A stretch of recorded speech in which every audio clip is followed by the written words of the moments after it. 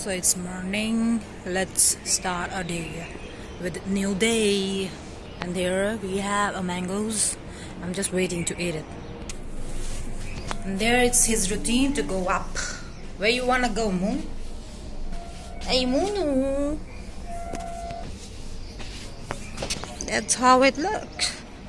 And here we do do some yoga and I want to make you realize the morning time and the morning voices. It's so good. That's how it look my upper view. And I want to let you show that I have a build. It's not a that kind of a bill which we pay. It's a bill which we eat. This is a fruit. We should have to consume it because it's good for your health. And you can Google it and you will get to know that how much is very important.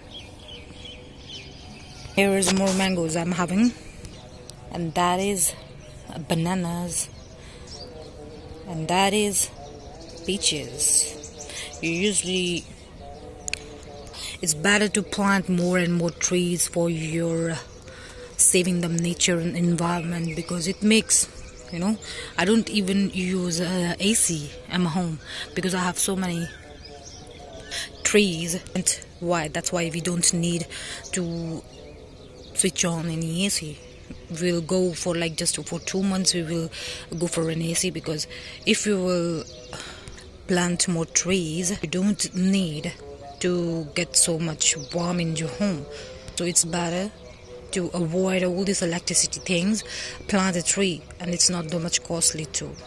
AC is so much costly, but if you will plant a tree, it will make you not waste money as I always wonder and come in the morning here and watch the all kind of the nature beauty uh, because it makes my mind and uh, soul very positive.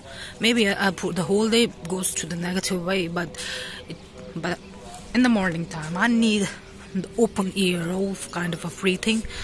So wherever I go I usually spend a time one or two hour outside either for walk just, just watch all the nature in the morning because in the morning time you can feel the view.